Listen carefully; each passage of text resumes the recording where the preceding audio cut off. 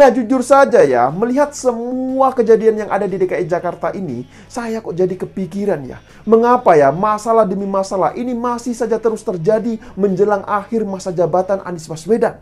Apakah ini semua kode bahwa alam sedang menolak Anies Baswedan?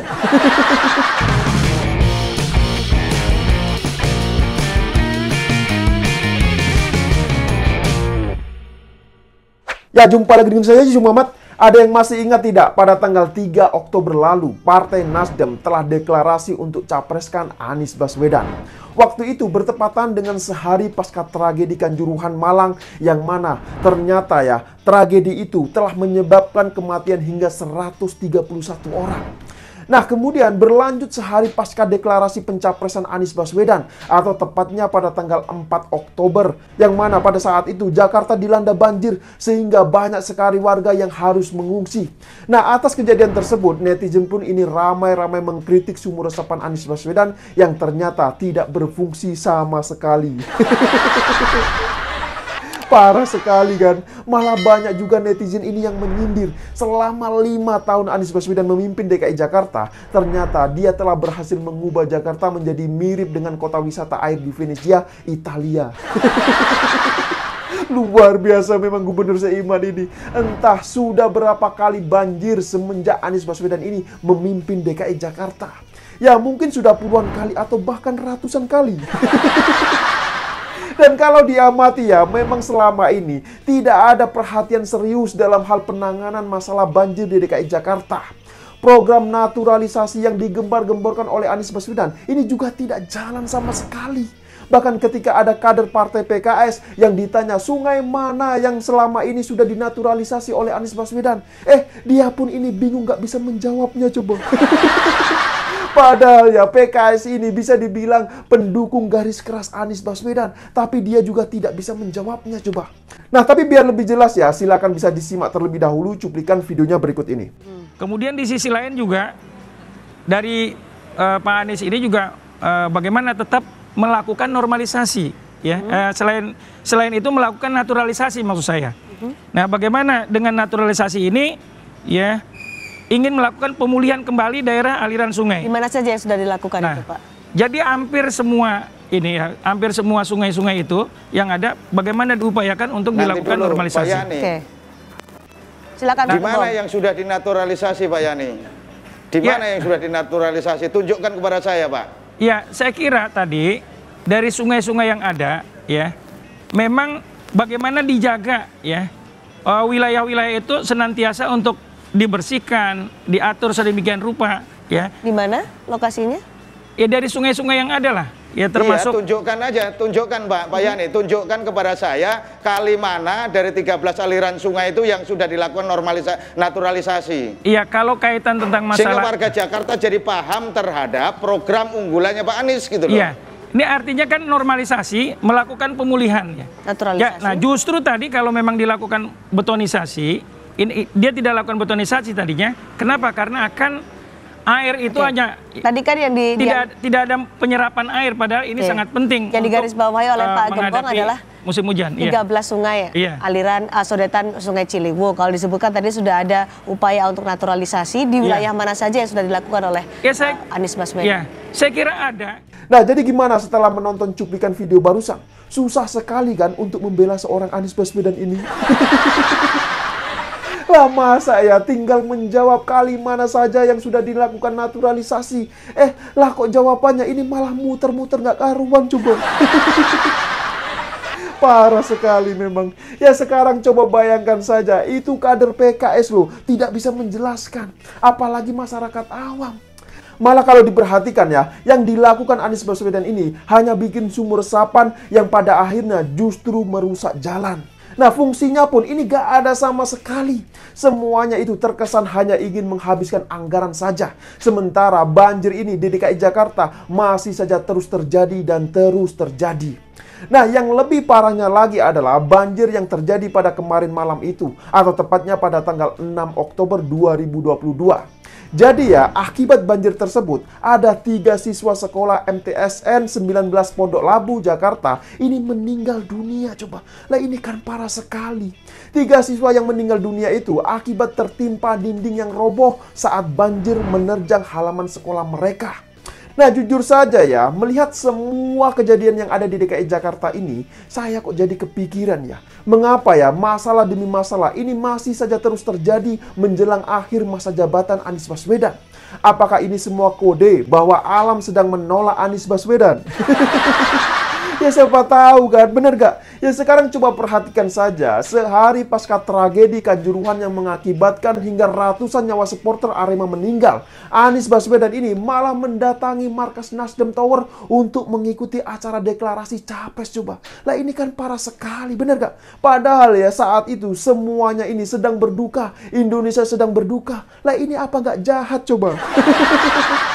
Nah, kemudian hari ini belum ada sehari pasca kematian tiga siswa sekolah MTSN 19 Jakarta, lagi-lagi ya Anies Baswedan ini melakukan kunjungan ke kantor DPP Partai Demokrat untuk melakukan safari politik. Lah ini kan parah sekali. Jadi maksud kedatangan Anies Baswedan itu ya ingin mencari pasangan untuk cawapres.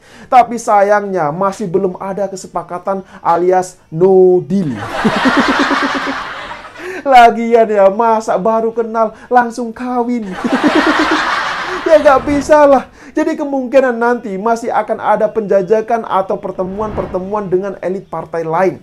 Ya tapi kalau boleh saran ya, ya ini kan cuma saran saja, gratis loh, nggak pakai bayar kok.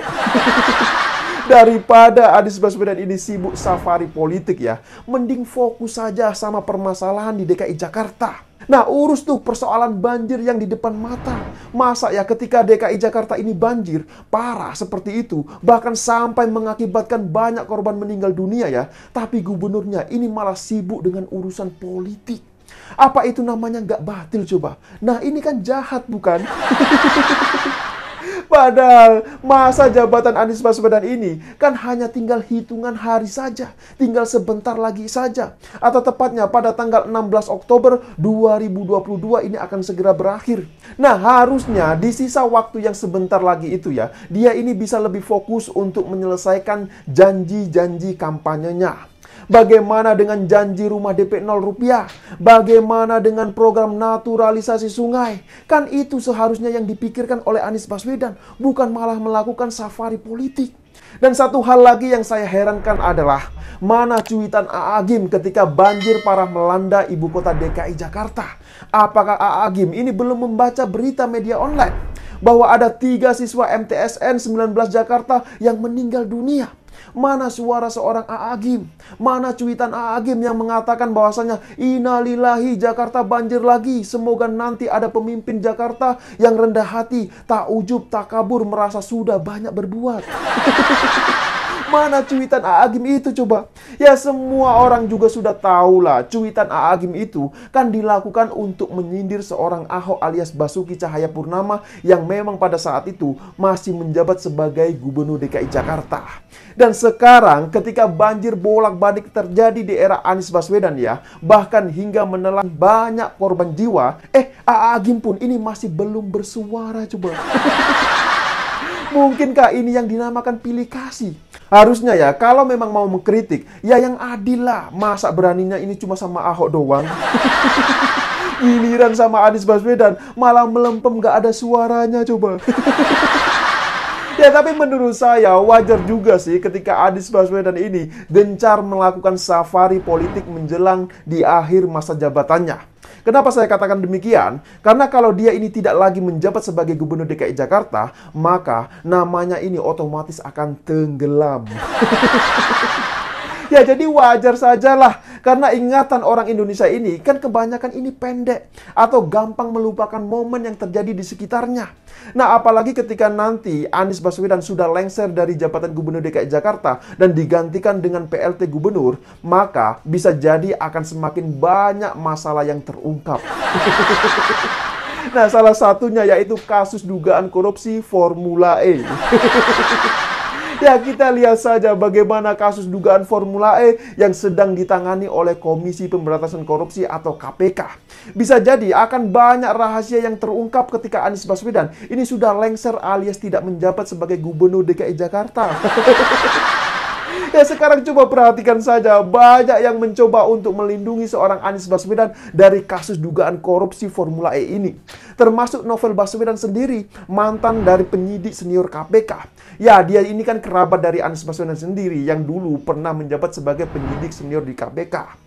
Nah, malah baru-baru ini ya, Tempo juga memuat berita yang menyesatkan dengan menyebut bahwasanya Anies Baswedan ini akan dikriminalisasi coba. Bahkan yang lebih parahnya lagi adalah Tempo ini juga disomasi oleh Profesor Romli, pakar hukum Universitas Panjajaran. Karena apa? Karena dia ini dianggap telah mencemarkan nama baiknya. Jadi ceritanya itu begini, Tempo ini menulis dalam beritanya yang berjudul Siasat Firly Menjerat Anis bahwa Profesor Romli ini menegaskan dalam kasus Formula E hanya terjadi kesalahan administratif saja. Padahal Profesor Romli ini tidak ada wawancara soal itu dengan pihak Tempo. Jadi bisa dikatakan ya, apa yang ditulis Tempo itu merupakan wawancara fiktif. Nah, yang lebih parah lagi adalah ternyata apa yang ditulis oleh Tempo itu juga tidak benar sama sekali. Jadi itu disesatkan oleh Tempo. Jadi ya terkait dengan kasus Formula E tersebut memang terjadi pelanggaran pidana itu menurut Profesor Romli. Lebih khususnya dugaan tindak pidana korupsi. Jadi framing Tempo tersebut jelas sangat-sangat menyesatkan dan menguntungkan pihak Anies Baswedan. Nah pertanyaannya, apakah ada permainan antara Anies Baswedan dan Tempo? Kan itu pertanyaannya, benar gak? Karena ya, kalau diamati sepertinya ada upaya yang terstruktur dan sistematis yang dilakukan untuk membersihkan nama Anies Baswedan dari kasus dugaan korupsi Formula E ini. Lagian, kalau memang gak salah ya, mengapa sejak awal dulu harus takut ketika mau diinterpelasi soal Formula E ini? Kenapa harus mencari pelindungan dengan mengajak untuk jamuan makan malam bersama tujuh fraksi di DPRD DKI Jakarta coba? Kan itu yang mencurigakan kita semua, bener gak? Jadi sudahlah, tak perlu lagi ada yang bersilat lidah. Kita tunggu saja kejutan baru yang akan terjadi setelah Anies Baswedan ini lengser dari Gubernur DKI Jakarta. Intinya ya, kalau memang Anies Baswedan ini tidak salah, ya nggak perlu ada yang ditakutkan lah, bener gak? Kan itu saja mikirnya, simple kok. Ya, saya kira demikian dululah opini singkat Okedum kali ini. Pesan saya, jaga terus NKRI. Terima kasih buat yang sudah like dan menonton video ini dari awal hingga akhir. Dan sampai jumpa di episode Okedum selanjutnya.